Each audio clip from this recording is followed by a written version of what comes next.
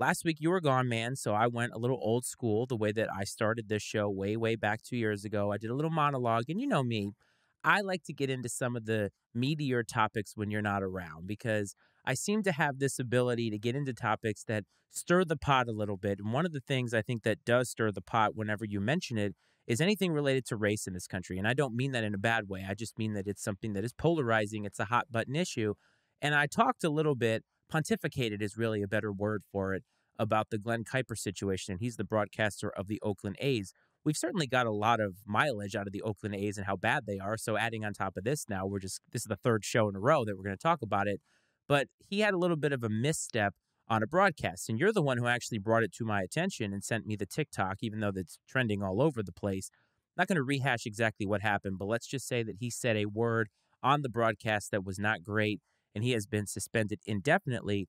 I talked about it and made my feelings known. I think I even told you via text how I felt about it, but I wanted to give you the runway to talk about it with our listeners because you weren't here to rebut or even give any type of an opinion on the situation. So the floor is yours to talk about that situation.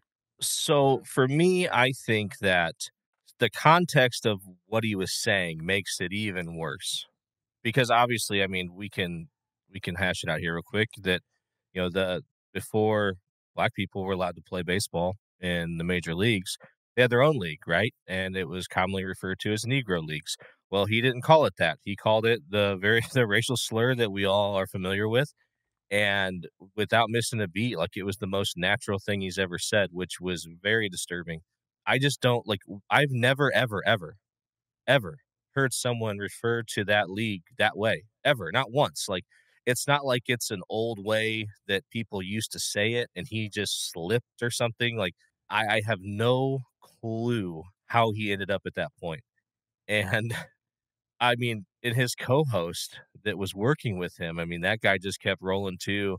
And I mean, I think you have to in that situation. I don't know what he could have done uh, that would have made things any better at that point in time, but it was so egregious and just I, I it, it caught me off guard when I first saw it. I thought it was one of the I thought it was fake.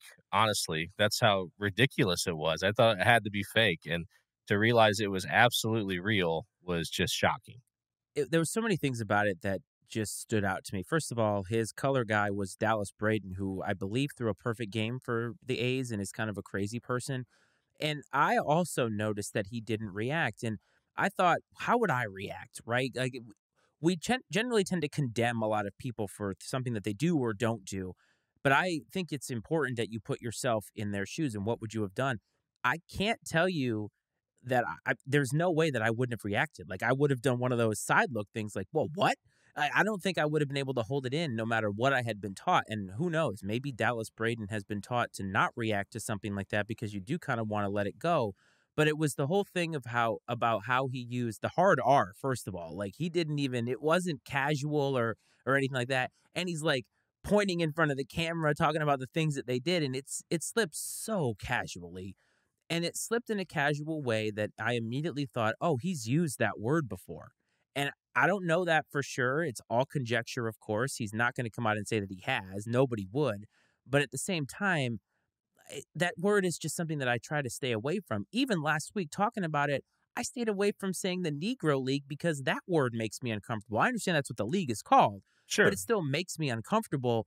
And it's like, man, there's just so much of a slippery slope in even trying to use those words and also the negative connotation that any of those words has, right? Like people will say the Negro League, but also forgetting what it meant. It meant that they weren't allowed to play with white players. That part of it is actually the part that's important. And that part of history has finally only started to become assimilated into the collective history of Major League Baseball. But for a long time, it was separate.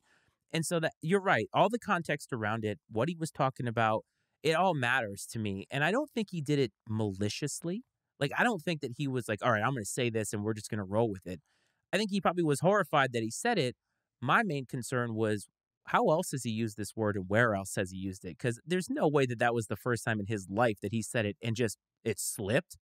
No, and he was talking about it so almost passionately as far as the experience that they had which you know which makes it obvious that he didn't think he was he he had no clue or did not believe for a minute that he was saying anything eh, wrong And so I honestly wonder for a minute if he, if this man is so unfamiliar that he really believes that's what it was called. I'd be curious. Not that that justifies it, but I'd wonder if he was so detached from the world that he thought that's what the league was called. And two, even if that's what it was called, man, like you got to know you can't say that. Like you cannot say that ever.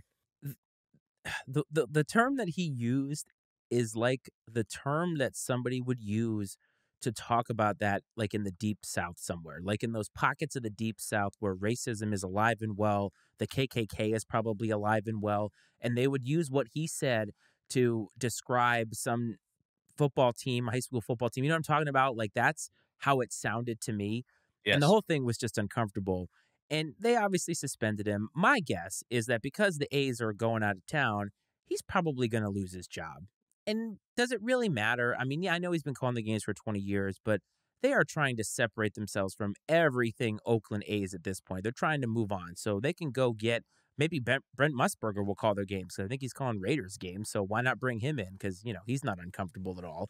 But I think they're just going to move on from it. And, you know, yeah, you know, so that part of it is interesting. But the other thing I wanted to get your opinion about, because I feel a little bit more strongly about this, because again, I think that the Glen Kuiper situation is so it's crazy because of how he used it and everything you talked about, but I don't think it was malicious. And then there's Bob Huggins, who I know that you generally like guys like this and guys that don't give a crap about the establishment and stuff like that. And when it comes to sports figures, that's fine. But he was on this radio show. I think you probably heard the clip. We're not going to repeat it here.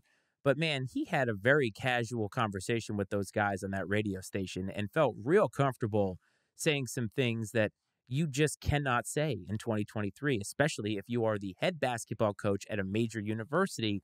And I think that was a little bit different. That felt a little bit more, I don't want, again want to say intentional, but man, it sounds like they, the three of them, have had that conversation before. So I was a lot more harsh on Bob Huggins, but I wanted to get your thoughts. Yeah, Bob Huggins knew exactly what he was saying and was perfectly comfortable saying it, which is disturbing in and of itself. Um, there's one thing to not to, to kind of be anti-establishment and and march to the beat of your own drum, and then there's another to just be downright offensive, uh, sexist, racist, homophobic, ist, whatever you want to call it. Um, and that's what he was, man. And the fact that he's still employed uh, by a, a state institution is absolutely fascinating. Now we could debate if the state he works in has anything to do with his um, continued employment.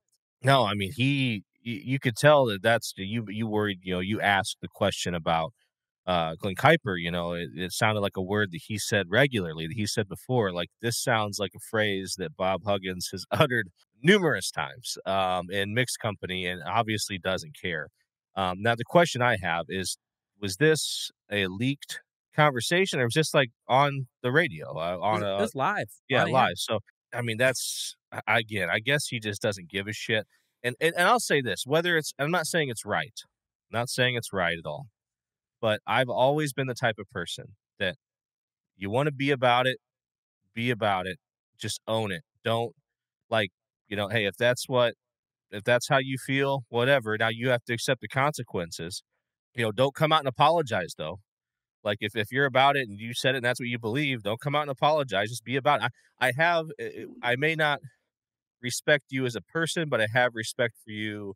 I have respect for the fact that you stand by whatever it is that you believe in, like that you're you're 100% all in on whatever it is. Um, I, I get that, um, but absolutely unacceptable from a, a head basketball coach at a major university, like you said, especially a state institution.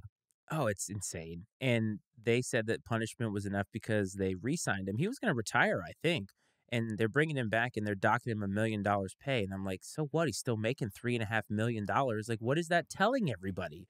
And the weird part is he hasn't ever won a national title. So it tells you everything you need to know about West Virginia basketball in the fact that just because they make the tournament and win a lot, that's good enough for them. Winning a national title doesn't matter to them. And Bob Huggins gets to skirt by. And I guess my larger concern is like, what does this tell you about what these institutions really care about? And it seems like winning matters more than anything. And I, I, guess I can't fault them for that because that is the way it's set up. That's the paradigm we have. But man, like when that happens so easily on on radio, And then it's so easy that they're like, yeah, we're bringing him back. We're just going to dock him pay. It's like, okay, so morals don't matter for shit. Like nobody cares about this stuff. And I feel like we're just constantly oh, in this place where we can't actually figure out what is good and bad anymore. Like to me, saying what he said so casually in 2023 on a live mic, on a live radio station should be like one strike and you're out. Like that's a no go. Zero tolerance policy for this stuff. And yet apparently it isn't. But if you and I were to do that in our workplace, we'd be fired. Oh, absolutely. And you look, I feel like we've seen this, right? Just a few times this year in NCAA athletics. Look at Alabama basketball, right? Um, and there's some other examples, right? Texas, their basketball coach, uh, Chris Beard or whatever. I mean, there have been numerous incidents where, now granted, he was fired, right? But there have been numerous incidents where coaches are retained in situations. I remember mentioning it maybe in regards to the Alabama situation. You wonder if you know college sports are so unique that I think people are way more passionate about their college team than they are about their pro team.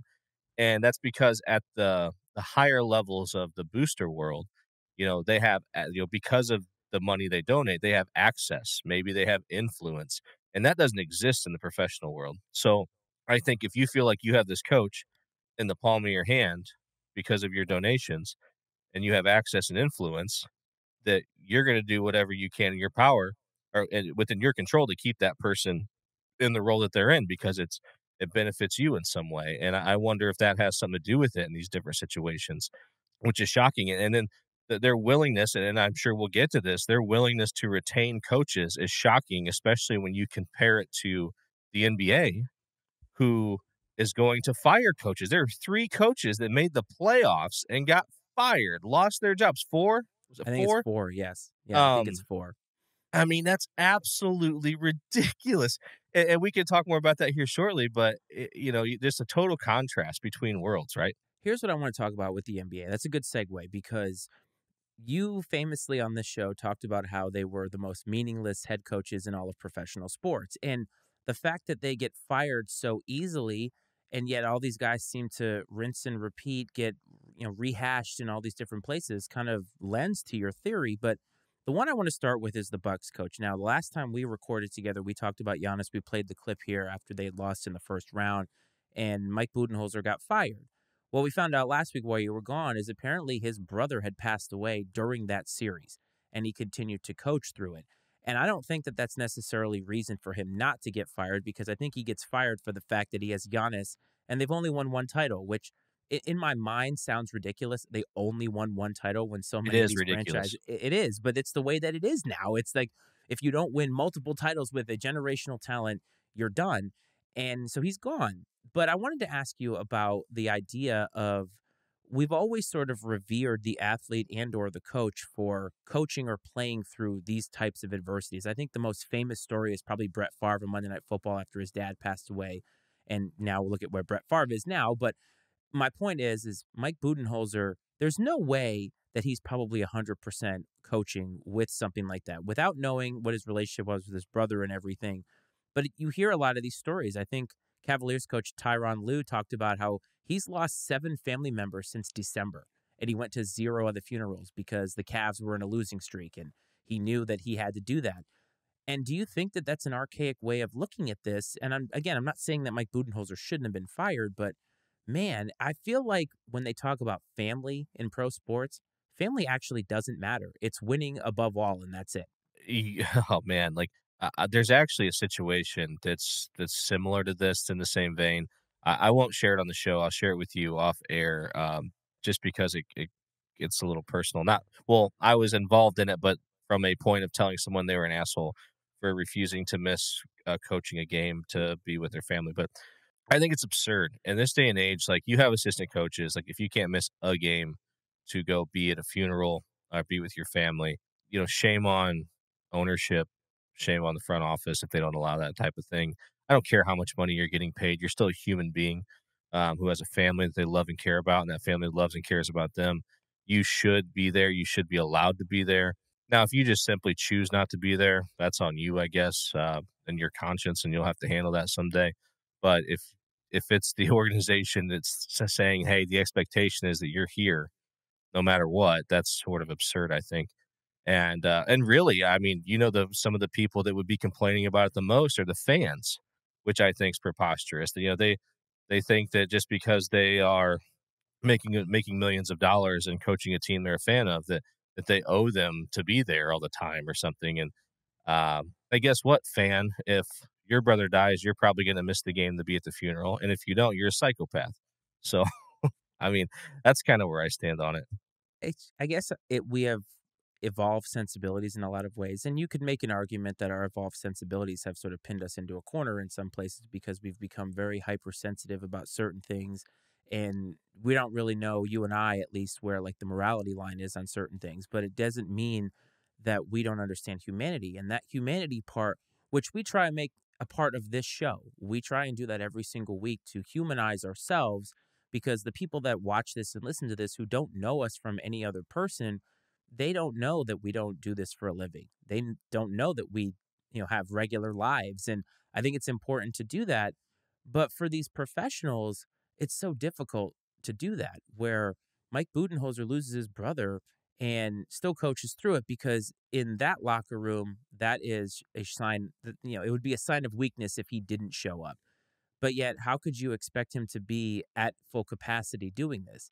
And when you look back at some of the things that happened at the end of that series when they lost to the Heat, all the timeouts that he didn't call, all the adjustments that he didn't make, how do we know that his mind wasn't in a fog? And how do we know that he's not thinking about those things? As somebody who's lost a parent, it does mess with you.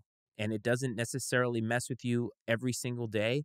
But I know that in the week after that, I was a mess. And I cannot even imagine going to an NBA sideline and trying to win an NBA title. And I, again, I don't think he necessarily didn't deserve to be fired because of it. But there's countless stories where people have not been given that grace to be human. And I talked about that podcast who talked about the hockey player who missed the game because his wife was having their first child and he dogged the guy. Like, are you kidding? Like, and it's not just players, it's coaches. And even in our workplace, man, I don't know if you've you've had this happen to you, but after my mom died, you know, I took a couple of days and when I came back, they're like, "Hey, I hope you're good. Here's your stack of stuff that you had." And everything rolls on. Your life rolls on. And it's a sobering thought that I don't know where our humanity actually counts for anything. It is really sad. Uh, I'll say this much: the place I work for now, um, they would let you take as much time as you needed um, and pay you for it. I can tell you that. The company I worked for prior to where I'm at now, uh, that probably wouldn't have been the case. The expectation would have been similar to what you dealt with. You'll fulfill your obligation basically as a family member to this person, and then get back here and do your job. And and I'm sorry, but this day and age, like, you know, I hey, I'm all about grit and toughness and all, and all that shit. We we joke about it here, but uh, mental health is a real thing, and like you got to have time to work through some of that stuff and work through the emotions that come along with it. And I think some companies are coming around and realizing uh, that humanity is important and that caring about the people you work for as as human beings and as people in general is is important because if you do that that person's going to show up for you when it matters you know and i think you know if if you invest in a person on a humanitarian level and you care about them genuinely like they're going to care about the little things that matter to you as far as like from a business perspective um unfortunately uh, too many companies are driven by uh, the bottom line and the almighty dollar and yeah i get you got to make money to stay in business but uh, great businesses are built by great people, and uh, I think that gets forgotten about sometimes.